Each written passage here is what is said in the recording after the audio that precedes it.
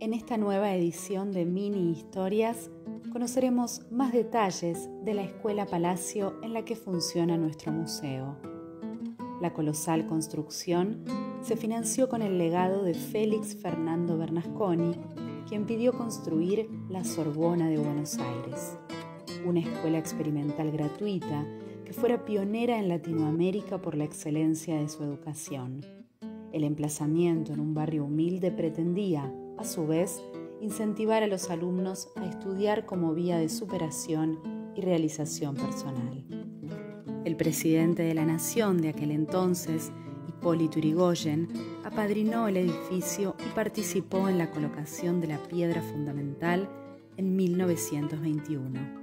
La obra culminó en 1929.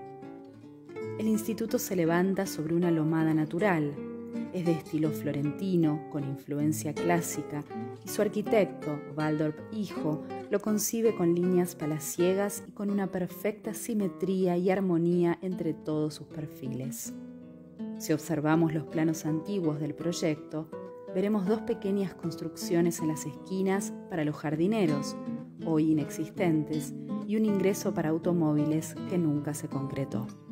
En el frente se encuentra el reloj con carrillón, que dejó de funcionar en 1943.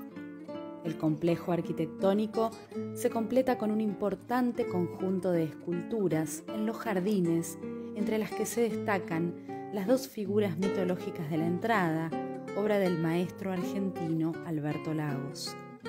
La monumental construcción contemplaba una educación integral para los niños y niñas acercándolos al goce del contacto con la naturaleza.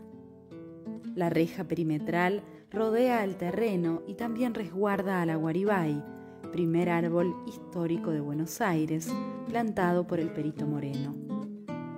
Aquí termina una nueva edición de Mini Historias. El museo tiene mucho más para contarles. Nos encontramos en la próxima.